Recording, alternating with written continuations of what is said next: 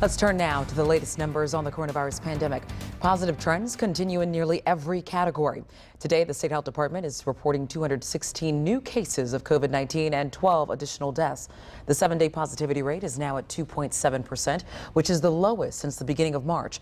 When it comes to vaccines, more than 2.7 million Hoosiers are now fully vaccinated. Daily vaccinations are now at about 14,000 new doses per day.